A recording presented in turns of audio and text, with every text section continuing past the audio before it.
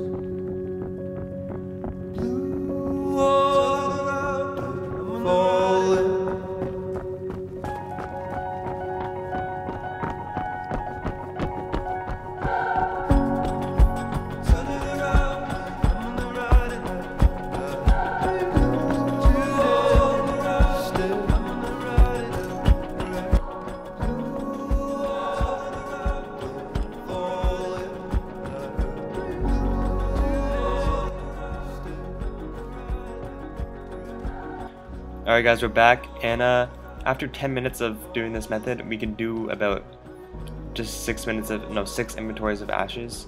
Uh, each inventory is just over one and a half minutes, so yeah, it's it's around 6, 6, uh, 6 inventories in 10 minutes. So uh, we got 168 uh, ashes total uh, in that 10 minutes, so we're going to go to the Grand Exchange right now, so we're already here, and we're going to sell this. Let's see how much they sell for. So they sold for 126k. That's crazy, guys. Like, that's almost. Let's see that. Let's let's do this shit. That's uh 126,000 divided by 168. That's 750 each for the ashes. That's insane. So we made 126k in uh 10 minutes. So if we just times that, no, well, uh you have to we have to subtract the willow price. So if we do 168 times the 20 each for willows, so we so we lost 3.3k on that. So it's so it's 122.4. So we we made that much money in uh, 10 minutes. So times that by six. So doing this method, you'll be getting 734k an hour. So yeah, you're getting you're getting about eight, no, 1,000 ashes an hour.